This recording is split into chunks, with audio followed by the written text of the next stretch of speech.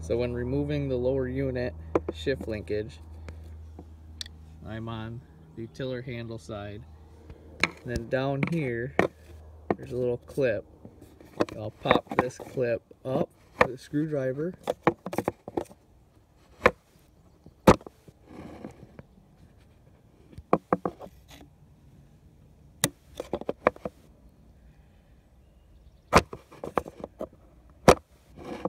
Alright, now it's popped up. And then you can just reach in there. And this slides out towards us. So you grab it and pull it out, and then the shift linkage is ready to remove. After you remove that piece up top on the shift linkage, you want to come down here, get an 8 millimeter onto that, and this is the shift linkage going down into the lower unit. You want to undo this almost all the way. I don't take it off the bolt, I leave the nut on the bolt, and then this piece will just slide out.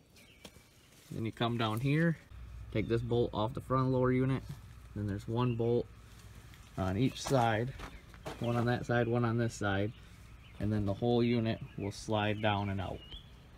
Alright, now that we got the lower unit off, we want to take apart these four bolts on the top.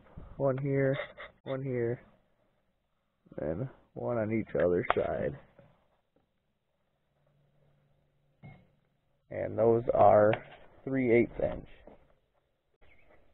Now that them four bolts are removed, I want to remove this little plastic cap.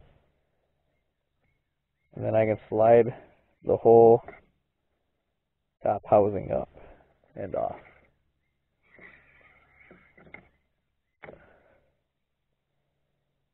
You want to inspect this for any gouges or any parts where it looks like something might have melted.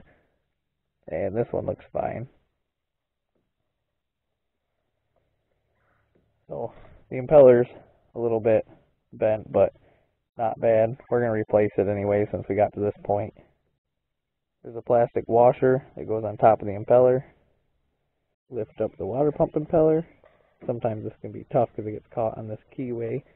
Do not want to lose this keyway. Definitely don't want to drop it down any of those holes. So we'll set this aside. And we're not replacing the whole water pump housing, we're just doing the impeller. So we're going to leave the rest of this on.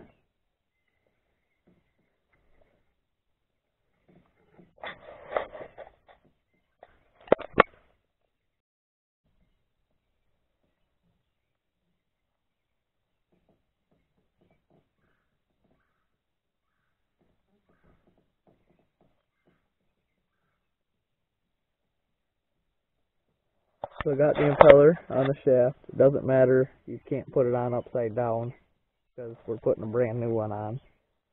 You're going to want to take the key, stick the key back in the groove.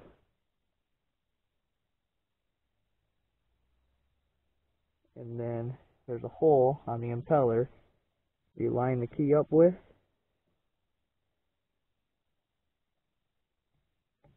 And it should just slide right over top when you get it lined up. Then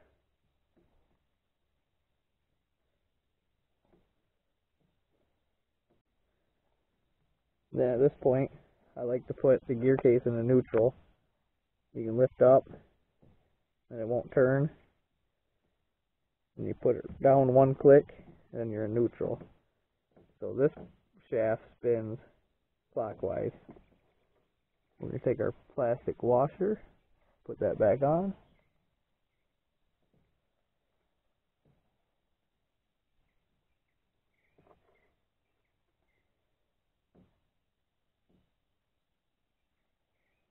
Then we're going to take our housing, slide that back on.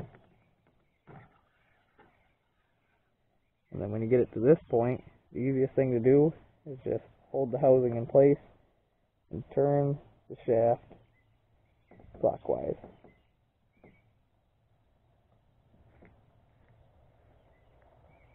Just like that. Now we'll reinstall our four bolts. So the four bolts are back on. Uh, you don't want to tighten these down too much because this piece right here is plastic and it'll come down and crack that. So you just get them snug and then slightly tighter. I do about maybe a quarter turn after they just snug down. We'll put our plastic cap back on.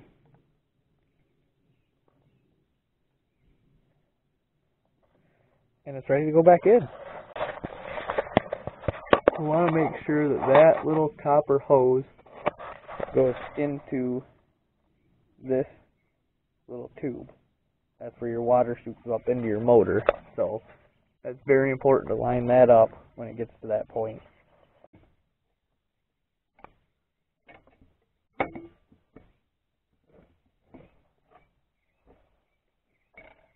Now we're going to line up that copper hose. Alright. They're in. Lower unit slid up.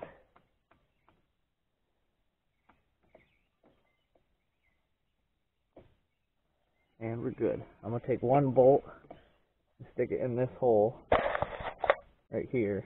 And then that way it'll hold this into place while I hook the shift linkage and stuff back up.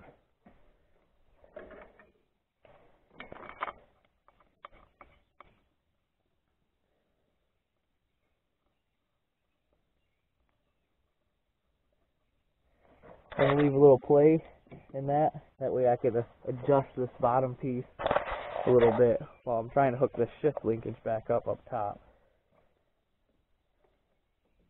I'm going to put this back down.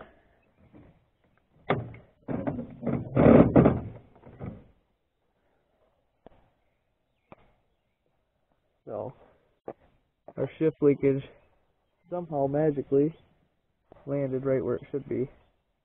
Shift linkage, and then you just push this down and snap it into place. And that's it. So now, I'm to raise the motor back up.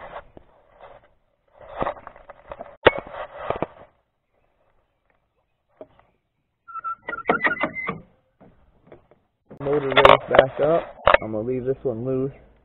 To stick the bolt in on this side and get it finger thread.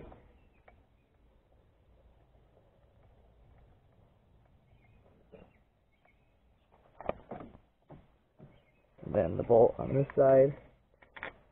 Get that one finger threaded in.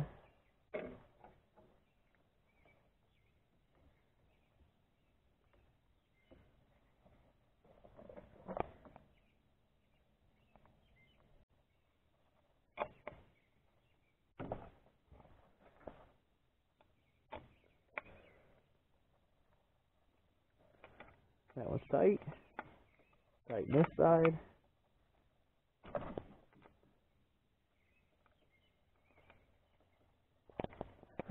That's tight.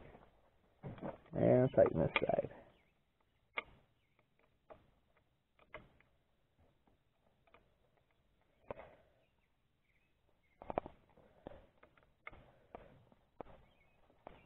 So, lower unit's done.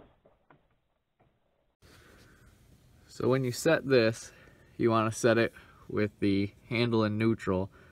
And then I set it with just a small gap underneath this little arm that moves up and down. That way when you put it in forward gear, you can use your tilt.